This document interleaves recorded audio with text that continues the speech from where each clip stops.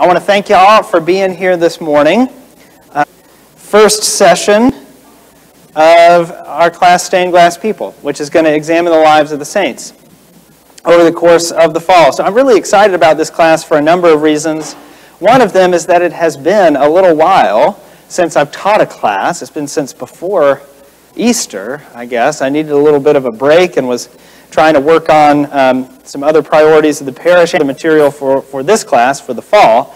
And so it's really good, actually, to be here this morning. I was like, this may be a bad thing to admit, but during the 8 o'clock service, I was like, I, I was like really eager to get done so I could come in here and do this, okay? So I hope it's good because I'm really excited. So if I, I'm really excited about mediocrity, that's not good, okay? But I hope it's good. I hope it's good. Um, so, so why this class? Why a class on the saints? Well, I think examining the lives of the saints actually is really important for us as Christians. Um, one, because all of us wonder and ask ourselves, what does it look like? What does it mean to live a holy life? What does it look like to follow Jesus? I mean, today, those of you who are at the 8 o'clock, or maybe you've already looked at the readings for this morning, but uh, those of you who are at the 8 know that our gospel reading for today uh, is a pretty heavy hitter. Uh, and Jesus has some very strong words for his followers about what it looks like and what it costs to be a disciple and to follow Jesus. And so, um, and so I think we all wonder, what does it look like to lead a holy life? And the saints help us answer that question.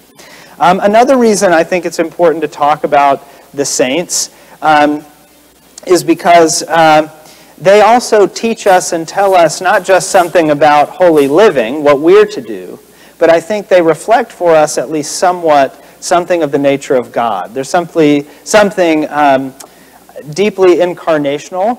Uh, well, obviously, because the saints are people, um, they are incarnate, uh, but uh, beings. But as divine image bearers, as all of us, you know, bear the image of God in some way, studying the lives of the saints also helps us see, I think, something of God's nature and God's gift of grace to us. And so, um, so that's what this class is about. I've subtitled it Ordinary People, Extraordinary Faith, although some of the saints were extraordinary people, so had extraordinary faith. Um, but we'll, we'll look at those. So over the course of this study, what we'll be doing is each week we're going to take uh, one or a few, uh, depending on the week, um, different saints, talk about their lives and what they have to teach us, what their witness might have to teach us about those questions that I just mentioned. Uh, but today, I want us to start with this question. I think it's actually sort of elemental. Who is a saint? I had what is a saint to begin with, but then I thought about, I don't know, who felt more personal, but you get what I'm saying. What makes a saint a saint? When we talk about, we talking about? I think this is an important question for us to discuss. And so that's what we're going to be talking about today, is uh, what is a saint? How do we know one when we see one, et cetera, et cetera, et cetera. And so let's dive in. But actually, before we dive in, I didn't pray. That's like the important, I got to start with prayer. Um, so, the Lord be with you. Let us pray. Good and gracious God, I thank you so much to be gathered together this morning with your saints, to study your saints, to talk about what it means to live and lead a holy life. I pray that both today and throughout this study we would be strengthened by the examples of the faithful who have come before, that we would continue to live in your way, to walk in your way, and to love you more deeply each and every day of our lives. We pray all of these things in your name. Amen. See, I told you I was so excited. I even almost forgot to pray. Okay? Hey. So, all right, so let's dive into this question. Um, oh, here we go. I, this was better. Who is or what makes a saint? Now, there are a lot of ways of answering this question. This slide is going to go through some of those. Um, but this was actually one of the first questions that I had personally when I joined the Episcopal Church. Because growing up, I didn't grow up in a tradition that really had much of an idea of the saints as a class of people that one kind of venerated in their life of faith. I'm done. That was something that Catholics did, right? We didn't do that really as Protestants. And so when I became Episcopalian, and there were like a cal- there was a calendar with saints' days in it, I was sort of like, wait, what does this mean? How, does, how do we understand this? How does this work? And it was one of the first questions that I actually asked the rector of my church as a little baby Episcopalian. Um, I was at lunch with him one day, he'd given me a prayer book, and I'd been, you know, I'd been just rifling through it and just, uh, just absorbing everything um, that was in there. And, and I came away with a few questions, and one of them was, how does the Episcopal Church, and I mention this little story because actually it's what he told me next that informed the title of this class, and which is, I think, an actually a pretty helpful way of thinking about a saint, which is as a stained glass person. Now, he began by saying a saint is an invisible person. And what he meant by that is a saint is somebody that you see right through.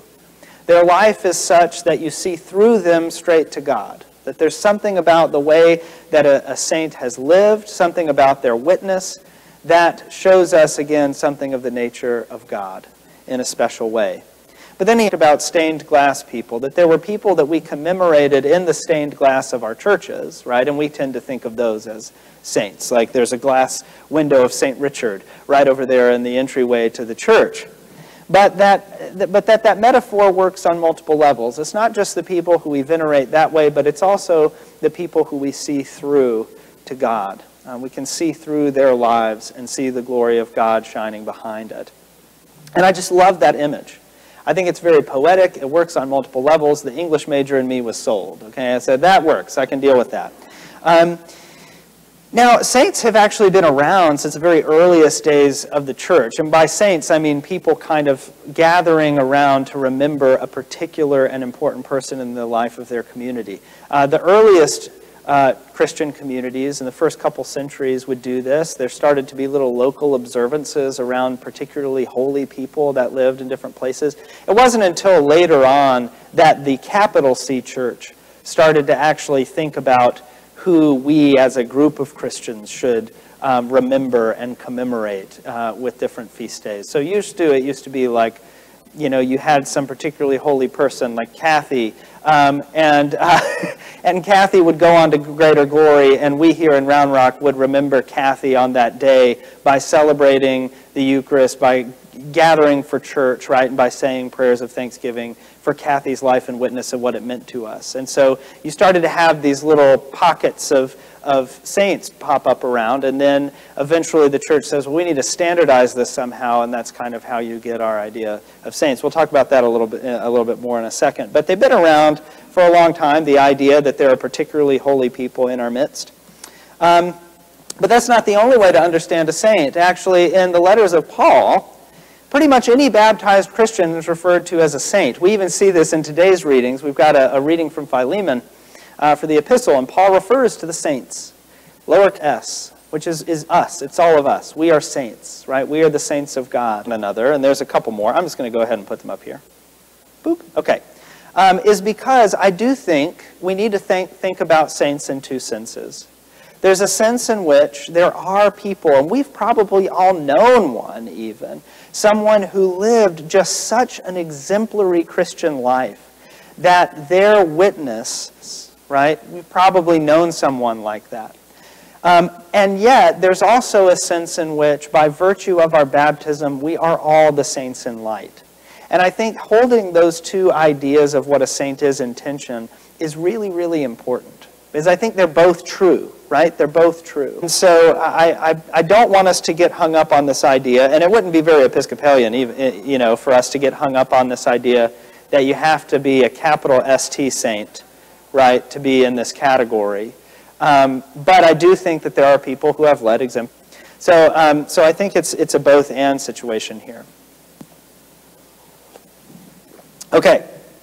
So I'm not going to then does one determine a saint. Actually, I had this really good definition of a saint given to me one time um, by Bishop Neil Alexander, who is the former dean of the seminary where I went. Uh, and he also is a liturgic scholar um, by trade, um, a very, very good one, very well-known one. And um, he talked about how the development of the Feast of All Souls, but there's also All Souls. It's All Saints and All Souls. And the idea of All Saints' Day was to celebrate Saint Mary. The idea of All Souls' Day is to celebrate your Aunt Mary. And that was kind of how he distinguished the two, right? That both are worthy of our remembrance, but one is sort of held up for the entire church and one is sort of, anyway. I think that's a good, a good to keep those two things in tension. So I always think of All Saints and All Souls. Anyway, all right. So I'm not going to bore you with how a saint becomes a saint in the Episcopal Church because we do have a calendar of saints, and honestly, it's very messy. And if you ask an Episcopality, a general convention, a lot of people argue, and maybe sometimes someone gets included. There's a lot of dispute about it. It's very messy, very messy. Because we hold these things in tension, it's incredibly hard to figure out, well, who gets included in the book, right? Who gets a feast day if, if you're commemorating both saint saints and smaller s saint. Anyway, it's a whole thing. So I'm not going to go into it. But there is. Oh, wait. Oh, I forgot about this great quote. This is very long, so I'm going to break it up for you. Sorry. This is another way of understanding saints before we talk about uh, the Roman Catholic Church and how they think about qualifications for sainthood, just to give you an idea about how some of these conversations go in the life of, of the church. But I really like this. Um, um, lectures uh, 14 and 15 on the value of saintliness in the, his book, The Varieties of Religious Experience, okay, from 1902. And I'll break it up for you. William James defines a saint this way. I actually really love, love this definition. He says, The saints are authors, auctores, which is literally just the Latin word for authors, so it just makes you look fancier. But he just used, he just used the same word twice, okay? Uh, the saints are authors.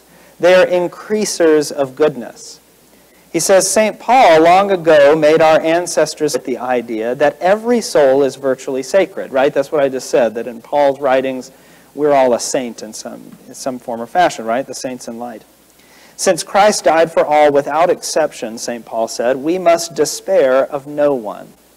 The saints, with their extravagance of human tenderness, are the great torchbearers of this belief, the tip of the wedge, the cleavers of the darkness. So I love this, right? Because what James is doing here is saying that there are these like capital S saints, but they actually are sort of at the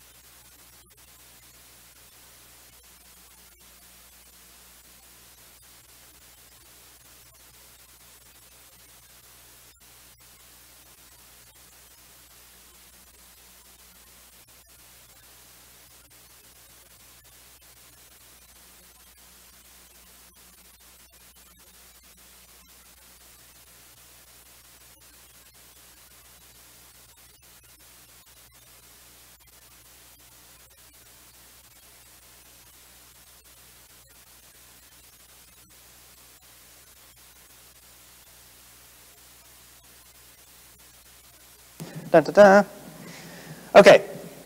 So the world is not yet with them. They often seem in the midst of the world's affairs to be preposterous, yet they are impregnators of the world, vivifiers and animators of the potentialities of goodness which but for them would lie forever dormant. They, in essence, they show us, each of us, a better and more fulsome way of living. Um, and uh, they're like these kind of innovators, right, that show us a better way before we can conceive of it ourselves.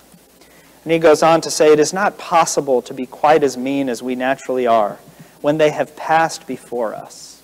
Right? There's a way of being in their presence that enriches us, enlivens our faith, makes us better people. One fire kindles another, he says, and without that overtrust in human worth which they show, the rest of us would lie in spiritual stagnancy. I really love this quote. I really, really love it because I think it does all of the things I was just describing about looking at this both and, right? Looking at the idea of a saint as both a capital S saint and also a lowercase s saint that we all are, right? Um, because again, I think we would all acknowledge that there are people who do live lives of exemplary holiness that do all of these things. So I offer that quote to you because I think that's a, and we'll actually come back to it throughout this study because I think it's a good frame for us to think about the lives of the saints and what they do for us. Okay. So, what is the process in the Catholic Church? Talking about how do you become a saint. I just think it's interesting to look at this. We won't spend a, a whole bunch of time on this, um, but I wanted to go through it with you because it just gives you an idea of the challenge that lies before the church when they try to do things like adjudicate holiness. Okay? Um, it gets very, very tricky. All right? It just really does. When you're trying to grade someone on a holiness scale, it's thorny business. Okay? But this is how the Catholic Church does it in, in, in summation. Okay? So it's a five step process to canonization, to becoming a saint in the roughly five steps. Um, Ooh, wow, those two came up, but that's fine. First of all, you have to die. You've got to be dead. Okay? That's the first step to becoming a saint in the Catholic Church. You cannot be still living. It, may, it sounds funny, but you do. You've got to die. You have to be dead. Um, and we'll talk about that in a second. Well, I'm going to talk about each of these steps in depth uh, in my next slides. But then you have to have an investigation of life. They have to sort of look at your life and biography. Then you become uh, the venerable so and so.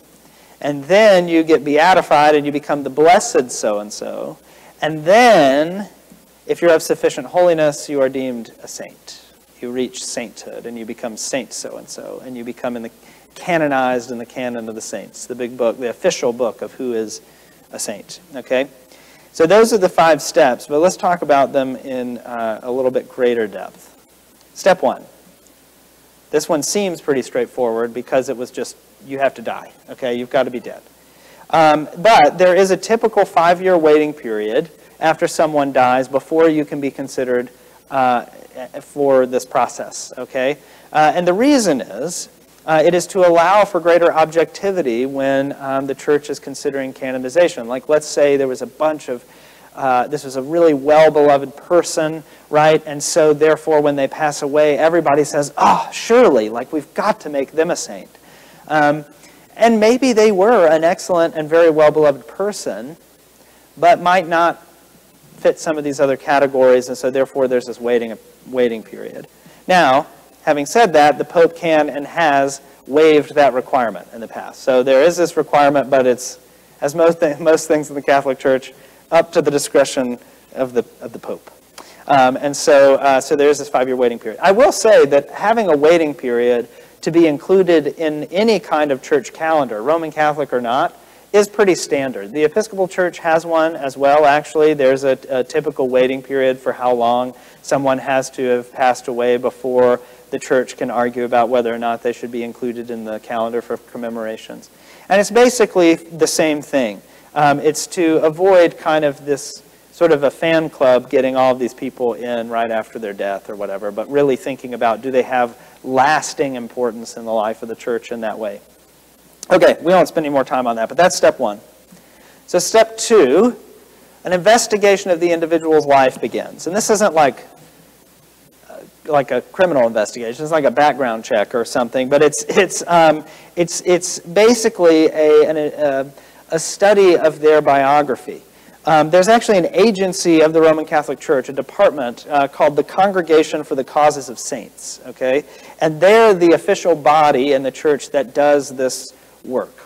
Uh, and what they do is they do these investigations, and then, as the slide says, they make recommendations to the Pope to open the case uh, for canonization for this person, to begin this process, in other words. So what are they looking for? What does it mean that they do an investigation? Okay, well, what are they looking for? Well, this gets us to step three. The Congregation for the Causes of the Saints, which I just abbreviate CCS. I don't know if they do that or not, but I didn't want to type that out every time. So, um, so that's, that's that. Uh, investigates the evidence of the candidate's holiness.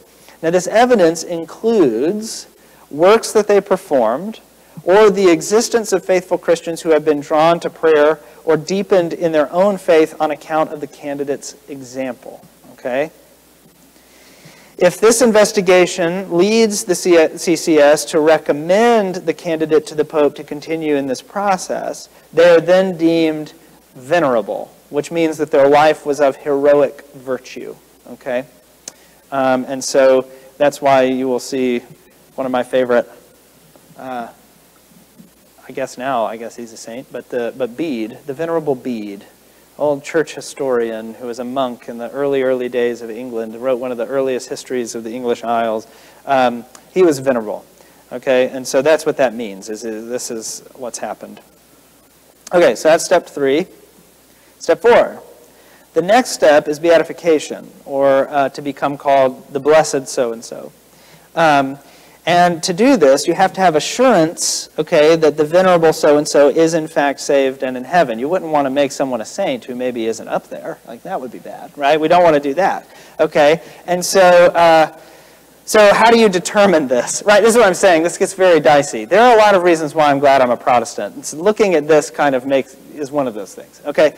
Um, but here's if the candidate was a martyr, okay, if they died for their faith, this is sufficient evidence because if you're killed on behalf of your faith, you got to be in heaven, right? Like we just have to assume if you were willing to die for it, you're up there, okay?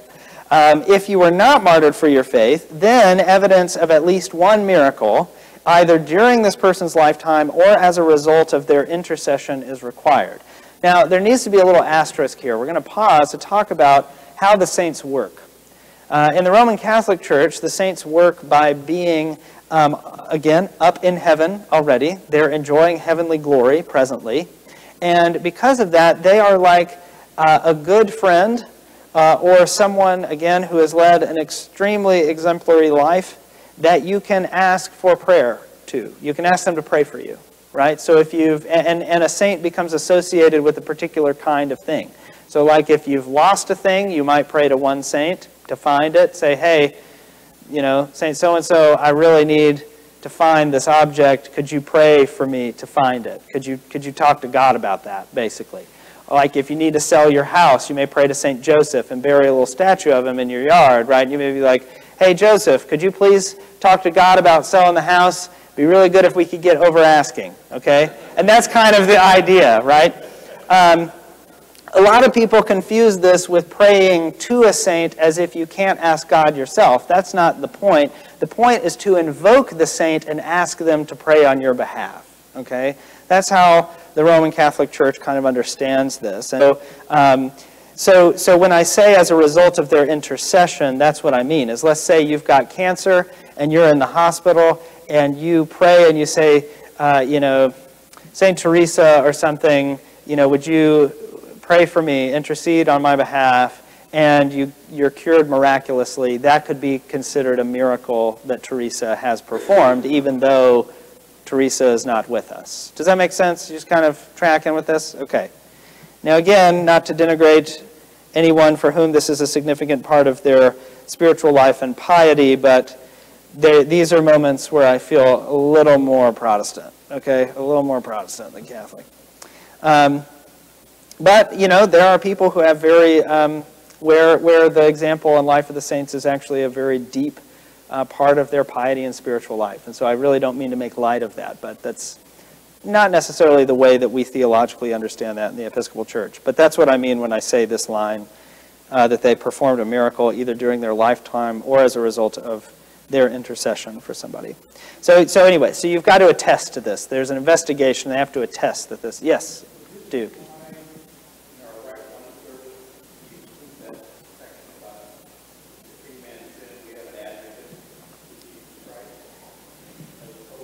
Yes. This is very, yes, Duke, very good, yes. So liturgically, and yeah, in our Rite One service, there is um, a, a, little section called the comfortable words that we don't really uh, include in uh, the Rite Two, I think very sadly. We should maybe be able to include them in there. Um, but one of the thing, things that's in there, there are verses from Scripture, and one of them is if that if any man sin, we have an advocate with the Father, Jesus Christ, the righteous. Um, and, and that's, that was intentional to be said in the English Reformation in response to this that our advocate is the great high priest, Jesus Christ, who is eternally interceding on our behalf, so we do not need to invoke the saints, right? We don't need to invoke the saints. And in fact, actually, the fact that we commemorate some of the Reformation folks in our church calendar would probably give them hives. Uh, the fact that we have days where we remember their martyrdom and whatever, they'd probably be like, "Excuse me." Um, you know, that's we we were burned at the stake for trying not to do that. Um, anyway, but I'm sorry, the church is messy that way again. We, uh, but uh, but anyway, so yes, so that that is why that's in there. That's a good a good uh, thing to point out. Okay, so step five, this is the final step to become These are a little bit different. Again, if you are martyred for your faith, that changes it a little bit. But if you were just like a good person who died of natural causes, you got to do something miraculous. Okay, that's, that's part of the criteria. Now, if you're thinking to yourself, some of this seems kind of arbitrary, like why two miracles? One miracle seems actually kind of, because as we'll also discover about the lives of the saints as we continue, part of what makes a lot of them saints is not that they were really good, super broken people who found God's grace break into their life in like this tremendous way. I mean, one of the most examples of this that gets turned into a joke a lot is famous bishop of the church, without whom our theology, some would argue, may be better. I like Augustine, but that's a seminary joke. That was intended only for Tanner over here. Um, but, uh, but he, right, had this famous prayer, Lord, make me chaste, but not yet, uh, St. Augustine's famous prayer. Um, that's what I'm saying, right? The saints are not perfect people, far from it. In fact, the saints are often incredibly flawed. We don't even have to go outside of Scripture to know that. Paul's an excellent example of this, who we sometimes refer to as St. Paul, but as a good Baptist, I was always the Apostle Paul. You wouldn't say St. Paul, it's always the Apostle Paul. Um, but, uh, but yeah, I mean, Paul, famous persecutor of the church, right? And in fact, actually, the book of Acts very dramatically tells us um, that when Stephen, who uh, we may actually talk about next week, we're going to talk about biblical saints in the early church next week. Uh, but St. Stephen is being stoned to death for his profession of the and in order to be able to throw the rocks harder, people throw their cloaks at Paul's feet, right? I mean, this was Paul, far from perfect. And yet today, as most Sundays, we read one of his letters as scripture, right? Okay, so like the, the life of the saints, they're not perfect people. They're not perfect people. Uh, but by their life and example, we see something profound of God's action um, in their lives and therefore God's act of grace towards us. And so I, I want to I wanna make that um, really clear. So it's hard, I guess, it's hard when the church tries to come up with, well, what does a holy life really look like? And so the Roman Catholic Church, this is their stab at it, and honestly, there could be worse stabs at it. You know what I mean? To, to try to figure out how to, how to, you know, figure out whose life is worth remembering in these special ways. I tend to think uh, that it's a little less scientific. It's kind of like, well, you know it when you see it. But you really just, that's a horrible rubric for judging. So there you go. But that's Cameron Nation's Raising a Saint, is you know one when you see one. Um, okay, so that's, that's how that goes. So question, who is a saint, right? Who is a saint? A saint is someone who's lived an exemplary life, uh, who's emulated for us what it looks like to follow Jesus, that could be somebody that we would pay money to put in stained glass in the, or that could be any one of us, right, who are sitting in this room today. Who is a saint? It's a both, both and. Now, I want to take the remaining few minutes that we have. Man, I'm doing good. Week one. Y'all who have done this with me before know that I am not good on time management on these things. I get off my notes, I start saying stuff, but we're doing good today, so that I can mess it up next week. Um, so I want to I want to move uh, to the in the last thing that we talk about. Oh, here's all of our stuff again. It's a review. So we're sticking with stained glass person. That's what we're that's that's going to be our working definition of a saint, pulling from all of that stuff that William James said that we'll revisit later on about a saint as an author of sort of uh, and a, a sort of innovator for us of holiness. But I want to um, I want to turn our attentions to something that I find really interesting. Um, this is uh, actually comes from a good good friend and mentor of mine, Rob MacSwain, who is my academic advisor and seminary at Sewanee, and. Um, a few years, four years ago now, he got a grant, a pretty substantial grant actually, from the Templeton Trust, uh, Religion Trust, to write a book. And it's a book on sainthood that should be finished soon. He assured me this summer, but all academics, nothing is ever finished, and the deadline just keeps moving and moving and moving and moving. But apparently, the test is saying you got to finish this up because um, we who gave it. Um, so he's about to go on sabbatical, and I'm ensured that the book will come out. But um, but his his premise is based on um, basically it's well, I've got a whole video that's going to summarize it for you, but it's really an and it comes from um, a quote. Well, wait, before I say this, how many of you, because I know uh, some of you either were in or listened to after the fact my class on uh, the sacrament I did earlier this year, Walking Sacraments. Okay, so that, that class on the sacraments, which was all about how each of the sacraments um, invites us into a holy life, the name of that class and the premise behind it um, comes from a theologian named Austin Farrer, who I mentioned to you. He was a person Lewis's, and he um, is a not studied enough, in my opinion, theologian uh, who is the chaplain to uh, one of the colleges in Oxford. He was actually the person who, the day before he died, though no one knew C.S. Lewis was about to die, including C.S. Lewis, he dropped dead of a heart attack. So it wasn't, it wasn't like he was on his deathbed or something. But anyway, guy, and uh, his scholarship is so, so fascinating, it holds up. And, and the premise of this on the sacraments comes from one of his sermons where he talked about the priest as a walking sacrament. And I actually think that that applies to any baptized Christian, that out in the world, we have an opportunity to be outward and visible signs of God's grace, right? That that's, and actually by in, engaging uh, and experiencing the sacraments, uh, that is what gives us the nourishment and the sustenance to do that important work, to be outward and visible signs of God's grace in the world, okay? Well, the reason I mention all of that to you is because Austin Farrer makes an appearance in this video because he inspired this work from Rob MacSwain. Rob MacSwain, in, uh, I would love to have him here uh, he also was the editor of the Cambridge Companion to, and so he's just, he's a great teacher. He's an interesting guy. Um, but I'm intrigued by this because the quote from Farrer is this one, that the saint is our evidence. And Farrer's idea, which he just sort of says in passing, but that Rob MacSwain really wanted to explore, is that actually the lives of the saints may be for us an argument for the existence of God. And that their example of holy living actually is um, attest to God's real being, right? Um, and so he started to explore this question and he got this grant to write this book and they made this little video. And so I'm going to play this video. It's about four minutes long or so um, to conclude today because I think it's another interesting way to think about the lives and what they mean. So there will be some time for questions after this, but that's, that's a little bit of background on this video. Um, so here we go. I don't think that we can prove the existence of God, but I do think that there are reasons to believe. So the question is what are those reasons and are they good ones? That's the Reverend Dr. Robert MacSwain, Associate Professor of Theology at the University of the South. Dr. MacSwain is asking Could a transformed human life be the best evidence for God?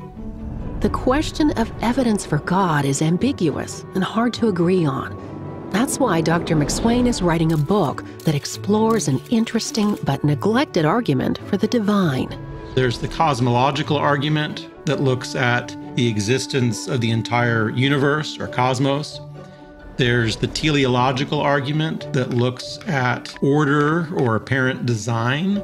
There's the moral argument, which says we seem to have a sense of moral obligation. And there are also arguments based in human nature.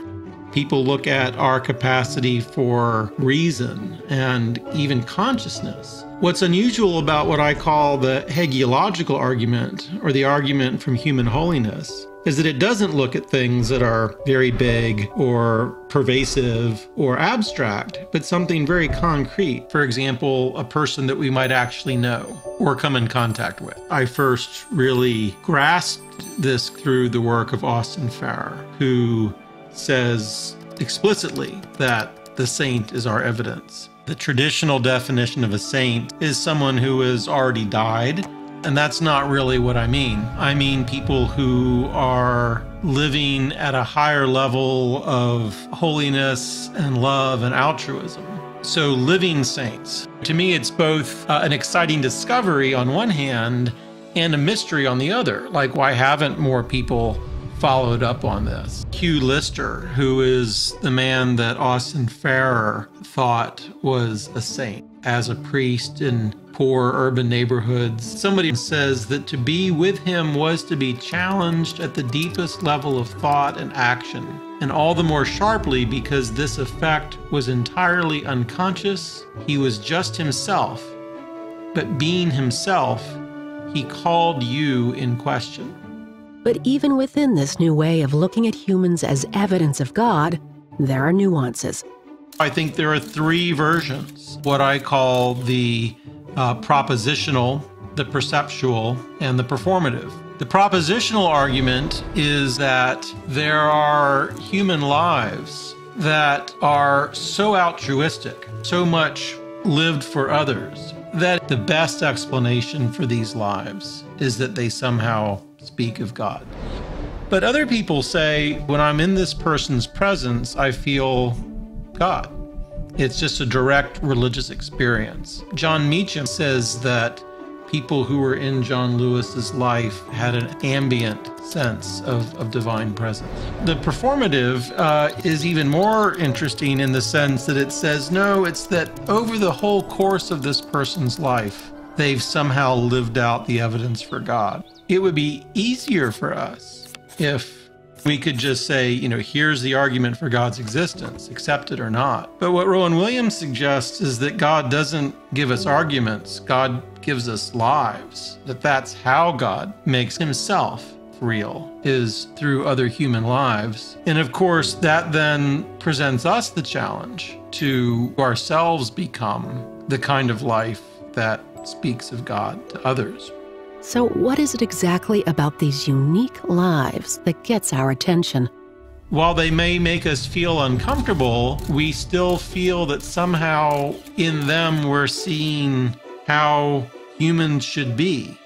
In his forthcoming book, The Saint is Our Evidence, Dr. MacSwain digs into this fascinating premise, including questions he has yet to fully resolve, like how many of these saints are among us? I think it's a really interesting question. It's got to be a significant enough number that most of us have at least had an indirect encounter, but it also has to be small enough for them to be still very rare and precious.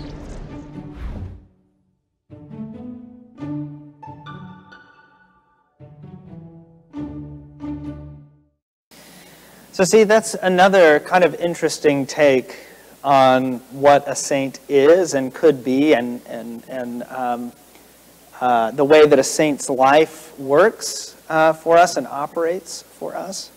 Uh, and I thought is interesting because right off the bat, right, what is the number one rule for the Roman Catholic process? Saints got to be dead.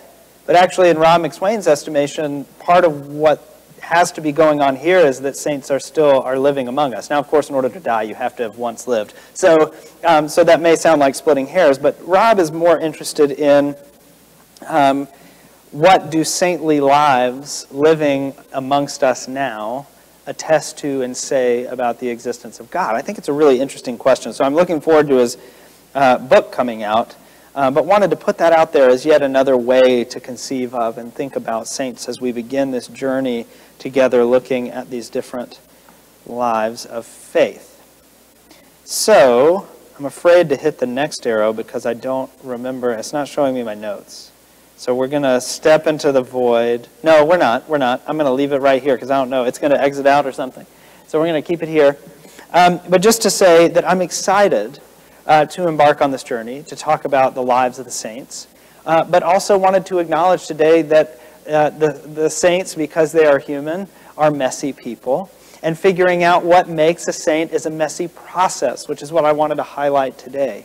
Um, but that they are, I think, worthy of our study and discussion because every single person, this is something I hope you've heard me preach on, I hope you know is important to me, that each and every person has a story to tell. It's worth telling, and, it, and it, it's worth telling because it's worth hearing.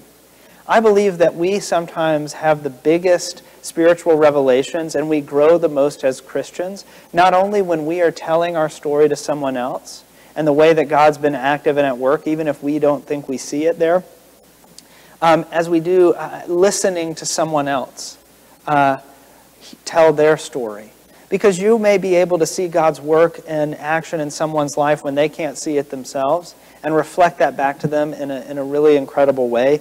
And so I think that's how the saints work too, is by studying their lives and stories. We see God at work in our own, just as we see God at work in their lives. And so I'm really excited uh, for this class. I think it'll be a lot of fun because I'll tell you, especially as we get um, into the medieval saints in particular, though even before that, um, there are some ones. Some really interesting stories, okay, and really interesting myths that get attached to some of these. St. Bridget in particular is one of my favorites, okay, so we'll, um, there are some fun ones that we'll study. But what we'll do is, like I said, we'll take a few a week and we'll kind of talk about them. I'll share with you about their life and witness, and we'll discuss what their life and witness has to say to us. And we're going to go chronologically. So by the end, we'll end up um, pretty close to our own day, okay, and talking about talking about that. And, and through it, through this study, I not only hope that we will come away with a deeper or richer or more uh, variegated understanding of what a holy life looks like, uh, but also that we'll explore a little bit of the challenges of what it means to regard others in high esteem, right? Especially as we get closer to our own day, that's harder. It's easier to regard someone in high esteem who's been dead for hundreds and hundreds of years because there's a lot of separation from the messiness of their life and witness. So we'll talk about all of these things uh, throughout this fall, and I'm really excited to do that with all of you. So before we conclude, we've got just a few more minutes left. Does anybody have any questions uh, or anything uh, before we end today in prayer and we go do church? I know there's not probably a, a whole lot of things that I talked about that have questions with them today. In the, yeah.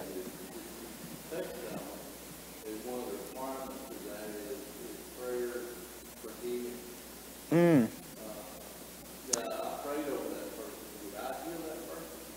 Mm. Mm.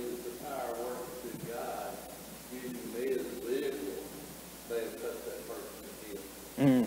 Yeah, that's a good that's a good point. So Jerry brings up the idea of healing as a miracle that is often used, or as a phenomenon that is often used as a, as a miracle to attest to someone's sainthood, right? We were talking about that in the Roman Catholic process for canonization.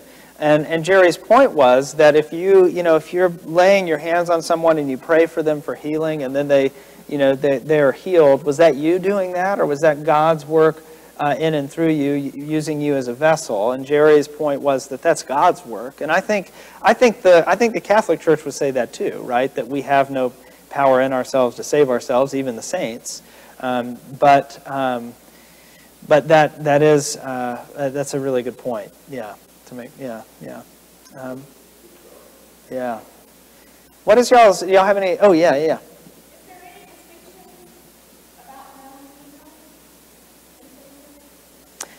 Um, in what in what way?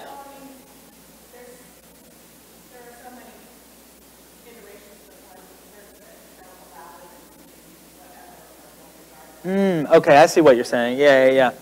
So that's a good question. So the question was, is there any sort of differentiation between sort of male and female saints, especially in traditions where, I mean, well, the Roman Catholic Church is kind of a good example of this, right? Because women can't be ordained, uh, but yet there are certainly a lot of female saints uh, in the Roman Catholic Church.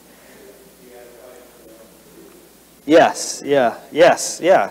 Um, there's so so it's a good question, but I think I would say there's not a distinction between male and female saints, though there is a distinction, and the, the, the Catholic Church probably has language for this.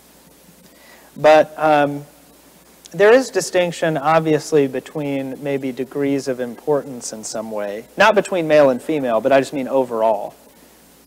That may be imperfect, but like, for instance, there's a reason why in the Catholic Church Mary is treated a lot differently than, say, St. Teresa or St. Cecilia or something like that, right? Is that Mary is the God bearer, the mother of Jesus, right? And so therefore there's a different level of importance placed upon her.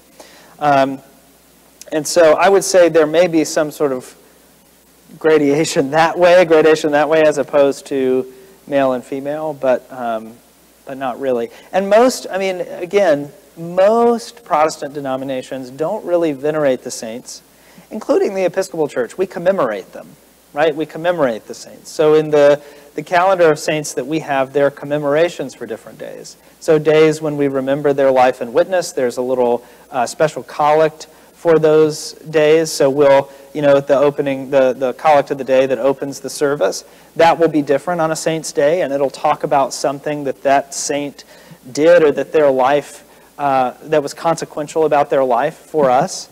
Um, and so we remember them and commemorate them but we don't venerate them in the same way as, say, the Roman Catholic Church does. Um, And so it's a little bit different. And then, of course, like most other Protestant denominations don't really have at least an official idea of remembering or commemorating the saints in the same way as we do. But that's a good question. Yeah.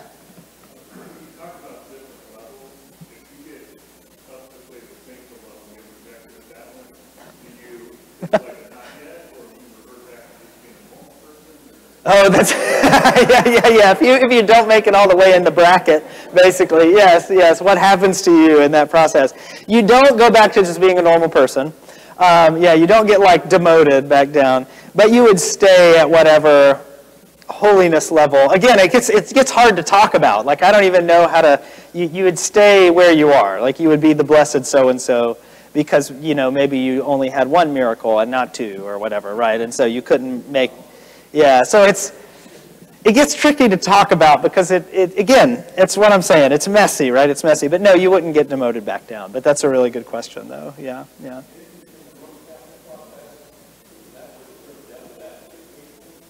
I believe so. Yeah, that the yes, the term devil's advocate uh, as, is a, a, reference actually to that canonization process, where there would be somebody who plays the devil's advocate to try to push against, you know, this person's uh, yeah, supposed holiness, right? And um, so, uh, yeah, that's right. So we actually reference that pretty much all the time, and not knowing that we're talking about the saint process. Yeah.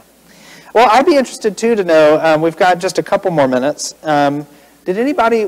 Uh, what is? How did this? Um, the idea of the hagiological argument for God's existence strike some of you? I'd be interested to know. I mean, do you have you felt um, that you have that the witness of someone's life for you has been an attestation of God's kind of reality in your life. What, what is your thoughts about that?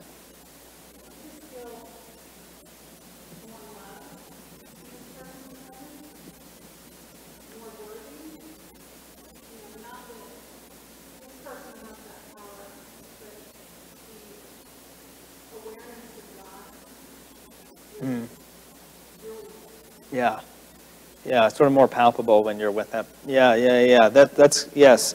About being in the presence of somebody and um, that, that being in their presence, uh, God's, God's presence is felt uh, in a way, yeah. I think, so personally, I think there's, one, one of the things that I find captivating about it is the incarnational nature of it, the idea of the church as the body of Christ. Um, I, I find it. I find that argument captivating. That um, mostly because I too have sort of experienced um, people who have lived lives or lived in ways that when I am with them or think about the way that they lived, it makes me want to be a better Christian, a better person, to be more loving to other people, to be more open-hearted and expansive in the way that I, you know, that I, I engage with the world. And so I, yeah, there is something captivating to me about that.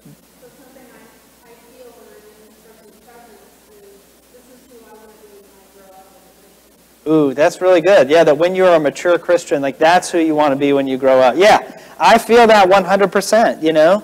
I mean, I think about, and that could be, and oftentimes I think is, lived out in the lives of quiet but incredibly dedicated and faithful people who show up, right? I think presence is really important, like people who show up, not just in other people's lives, but I think about like, you know, the, the lady who somehow was like old when you were a kid, but also still is just old the whole time. You don't know how, you know, but taught Sunday school faithfully for like decades and decades and decades, right?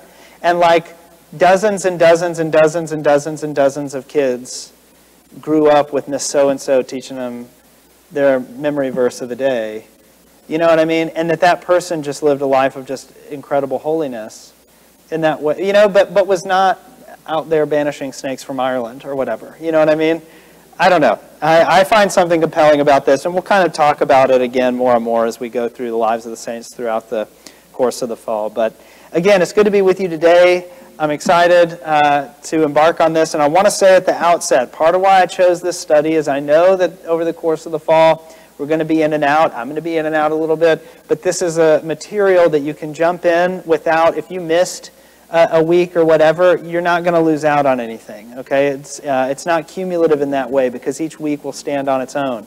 Okay, and so I'm just trying to eliminate Anybody using this excuse of like, well, I missed. I don't know. I don't know if I'll. It's fine. okay. Um, I chose this particularly because it's it's conducive um, to people coming in and out and still being able to connect with something that we do. So I'd love for you to be here every week, but as many uh, as you can catch is great, and I'm excited to embark on this journey with you to learn more about um, those figures of our faith. So let's conclude in prayer. The Lord be with you. Let us pray. Gracious God, I do thank you for those examples and witnesses that all of us um, probably have in our minds right now and in our hearts right now of people who, I love how Kate put it, that, that they're the kind of Christians we want to be when we grow up. Um, and I thank you for putting those people in our lives. I thank you for the inspiration that they are to us. And I pray that as we continue to learn more about those, as I said, who have come before, who have lived lives, not perfect lives, but lives of grace, and who have tried each and every day to follow you more closely. I pray that we would be inspired and encouraged to do the same. Through your Son, our Lord Jesus Christ. Amen.